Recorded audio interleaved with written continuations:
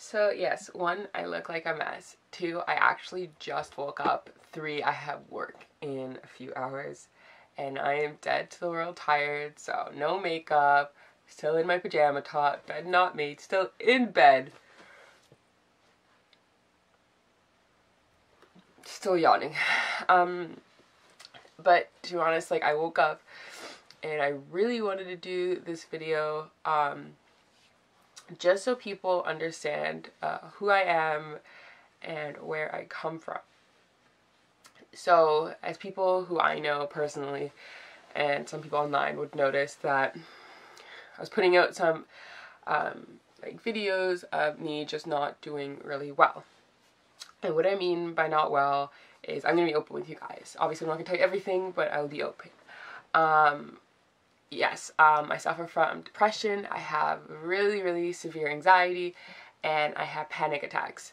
Um, and there's a bunch of other things, but we are not going into all of that right now. Um, where I'm going with this, in a sense, is I'm trying to explain that, like, people, I don't know, around the world, if they deal with this kind of stuff and they understand, is we all have our good and our bad days.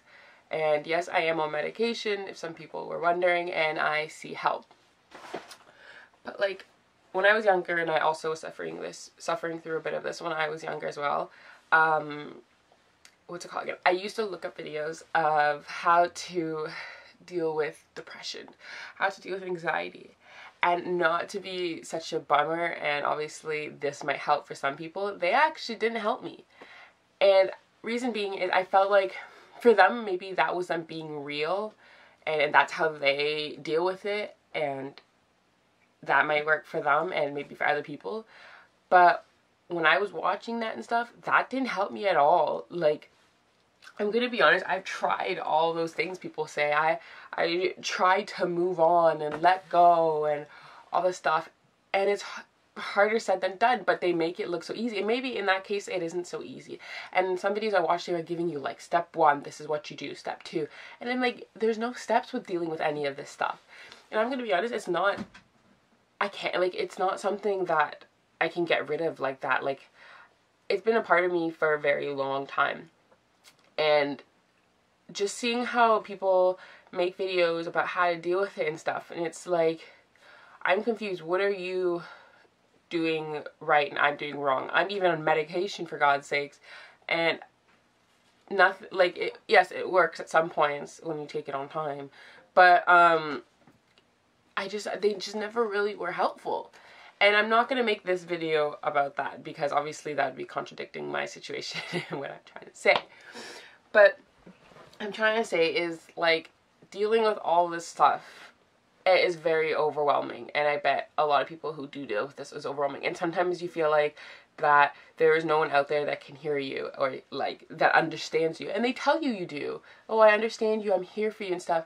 But it's a difference between hearing it because people who deal with this kind of stuff like me deep down people might be saying they love you and they understand you but deep down you're like no no you don't. You don't. Like uh, like we're not listening. Like it's we're blocking everything out. And it's it's it's stressful to be honest. And it's annoying because it just it just drags us down to our deepest points. Um some people might notice about me some people not. Um not like i'm not crazy obviously.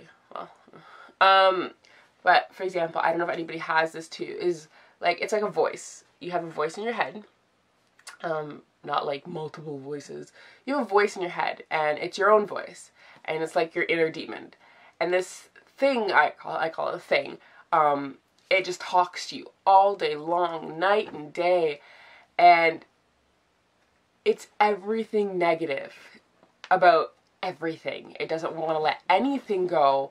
It just drills at you until you just break.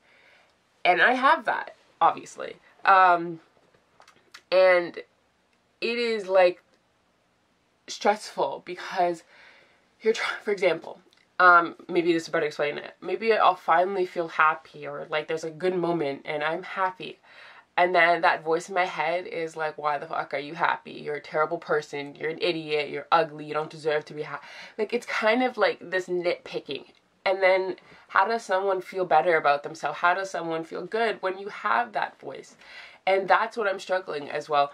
And yeah, like people and my therapist is like, you gotta learn to cut it out. You gotta like cut that voice, make a like sever it. And it's like, okay, if if I knew how to do this all these years ago, you don't think I would have done it. You think I want to stay like this? You think I want to stay like messed up and not able to have a real life because I just I can't get out of this bubble that I've obviously I put myself in, but I don't know where I'm going with this to be honest. I'm just just explaining how I am and people hopefully feel out there. But let's keep going. But it's it's kind of like no one no one exists outside of your bubble. You're like this only person because this voice has trapped you in it. And obviously sometimes like when I'm sleeping, I have everybody has nightmares, right? of course. But sometimes when I wake up from my nightmares, and sometimes I can have really bad nightmares, um, that voice in my head saying, that's gonna end up like you. You're gonna end up like that. And it's like, it's like, how? It's like, why?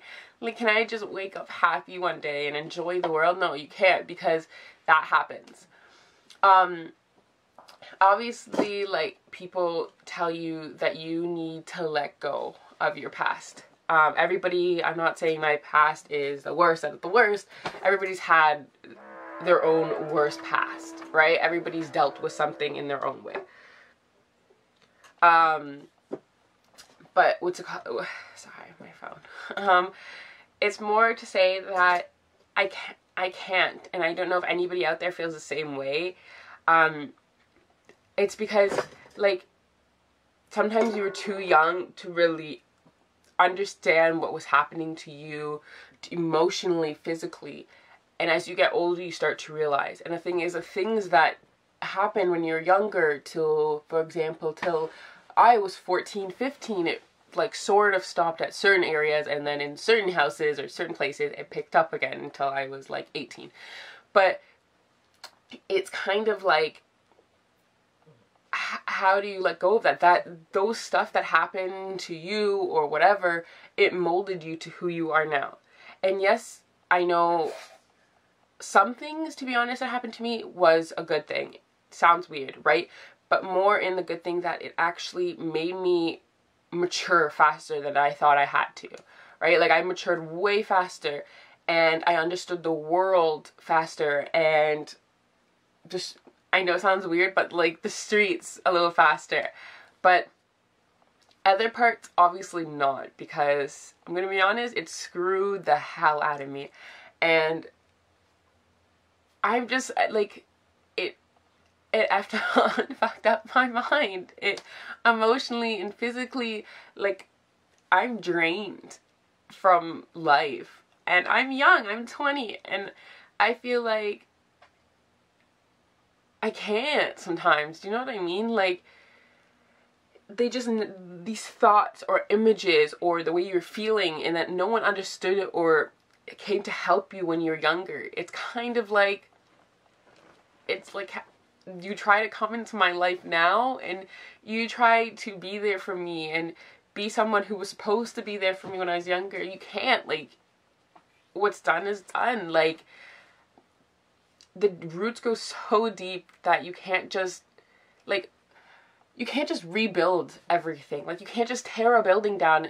Well, realistically you can, but you can't just tear a building down and then rebuild it. Like my roots are so deep that it's just it's just not it's not I can't like I can't just pull them out. Like you pull that out, everything is going with it, right?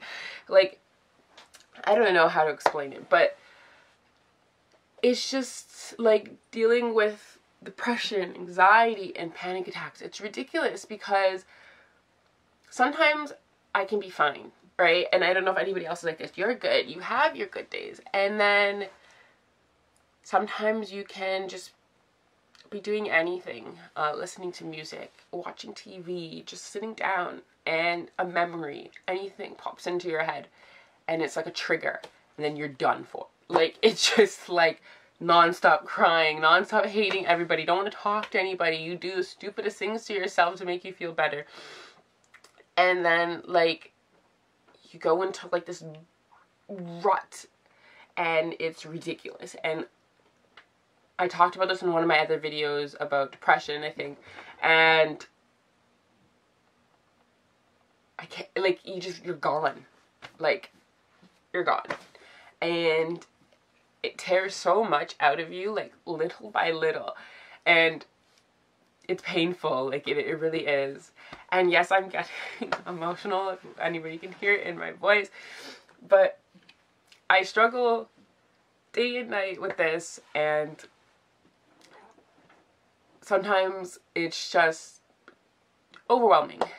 Too overwhelming to the point that obviously bring it to another panic attack. And yes, panic attacks are the worst thing. I hate them, especially every time I have a panic attack, my nose bleeds. And it's like an hour of this. And yes, I have medication for that too to help me with the panic attacks. But it's it's stressful and the biggest thing that is hard for me is acting like everything is okay. I go to work smiling, and giggling all the time and no one would ever suspect that anything is wrong with me mentally. And there's a lot. And it's like you go home and your face drops because that's not who you are. You're putting on an act. And it's like you don't want to go to work being who you are because you're Debbie Downer. Like, no one wants to hang out with you. No one wants to talk to you. You're supposed to be motivational. You're supposed to be a leader. You can't be like that. But it's like, it's so hard every day being that person who you're not. And I'm not that, obviously. And I just sometimes, I just want people to accept that this is who I am. I am a mess. I am a disaster. I'm emotionally I'm emotionally messed, like from brain to everything, and you know, like it's just it's it's tiring being that person sometimes. Um, but I don't know where I went with this. I just wanted to talk to somebody. I wanted to vent a bit, um, and just get it out there. Um, maybe I'll make another video to this going more in depth. Obviously not crazy in depth. You don't need to know everything that happened in my life. But um, I just want to say is I don't want people to watch this and feel think they like I need pity or whatever or charity case. I don't know. I hate that kind of thing. Um, I just wanted to talk and everybody's like, oh, you you don't have friends and stuff. But it's like it's different talking to you guys because maybe someone else who has my issues will watch this and maybe we can connect and work together. But this is like literally where I wanted my YouTube to be about. It's yes, it's my journey also of not being in work in school, but that kind of stuff plays into why like this stuff plays into why I'm not in school as well. Um, but this is my journey. This is who I am, and I want you guys to be on a journey with me to getting better, to finding my way and making something um, of this mess. Um, but hopefully you guys sort of enjoyed this or understand where I'm coming from. I know this was a weird video, but I will talk to you soon. Have a great night. Have a great week.